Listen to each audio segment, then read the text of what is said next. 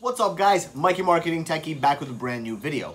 We're taking a look at something really cool today, something that's actually combining tech stuff and marketing together, which is what we love here on this channel. And what it is, is this really interesting, small, cool little thing that's being shipped to various business owners, most that don't know what it is yet, from Google themselves. And what this is, is actually the Google My Business Beacon, something that's part of Google's Project Beacon that they have been talking about now for a couple of years, although it hasn't really been pushed mainstream. However, various small business owners, uh, such as myself, are now getting these beacons in the mail with these two little cards. So, wanted to make a quick video that would let you all know, briefly, what this is. Now, I've had this installed and running here at Media Explode for just over a month, and unfortunately I did not keep the original packaging that it came with. However, it's a fairly non-discreet package, uh, but there is something that's very important on it. On the actual address label is going to be a little pin code, and it's going to seem completely irrelevant to everything, but you are going to need it during the setup process of this beacon. If you lost it, do not worry, it's not essential. Now, the current purpose of this beacon is solely to help improve the insights and the analytics that are available for your business.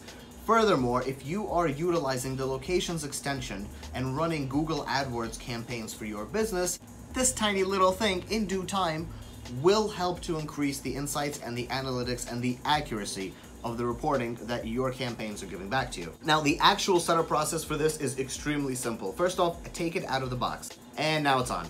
That's it. It automatically turns on as soon as you take this little tiny piece outside of its original packaging and that little dark box. So I'm assuming it has some little photo sensor somewhere in there that senses that there's now light and this thing switches on automatically and from this point on it will stay on.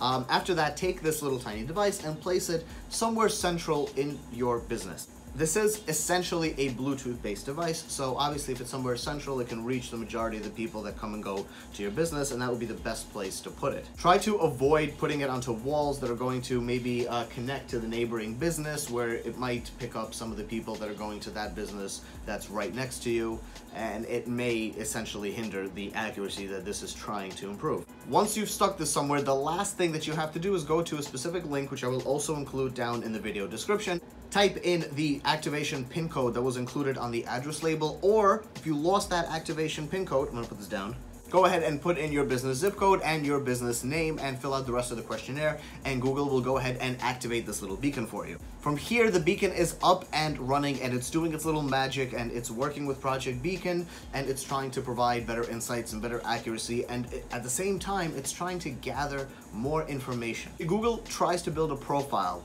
on the customers and the people that visit your business, your store, wherever it is that this beacon gets installed. Then, once it can accurately establish that a person has actually visited your business, we can take things a step further and we can go ahead and remarket back to that person and maybe ask them for a review because they've obviously stopped by the business and they've dealt with us and they could leave us a review. Maybe they want to submit a photo. Maybe they want to do something that can help our Google My Business listing grow. In a nutshell, Project Beacon in a global scale is setting up the ability for these little Bluetooth beacons to be placed across locations and across businesses all over the world and to establish a network. And that network can do many different things. There is a project that's working with Project Beacon to help establish a guidance network for blind people based off of beacons being placed in things. There's a company working with Project Beacon in order to allow you to walk anywhere around the world and look at an art piece, a statue, and instantly be able to pull up the information and the data or the audio about that statue or about that piece of art. There's an app that's based on Project Beacon that can help you find better bars where you are more likely to have a more fun night based on your past experiences and past visits, all working off Project Beacon. Now, Google's been working on Project Beacon for a couple of years now, and it's not really mainstream and it's not really publicized. Um, it is more on the developer side of things, and I think that this Google My Business Beacon is probably the first real public approach that Google has taken with it, uh, but in true Google fashion, they have actually given no information to the public about this. So hopefully this video helps. Now, if you want to get one of these beacons for your business, well, you can only qualify if you're already running Google PPC campaigns uh, and you're also using the locations extension on your Google AdWords campaigns for your business. If you are, there is another link which I will also leave in the description section below, where you can go ahead and fill out a form to request one of these beacons be sent out to your business. That's it, guys. Thanks for watching. Subscribe to the channel, leave this video a like, share it with your friends. Any questions, feel free to leave them down in the comment section below. See you soon.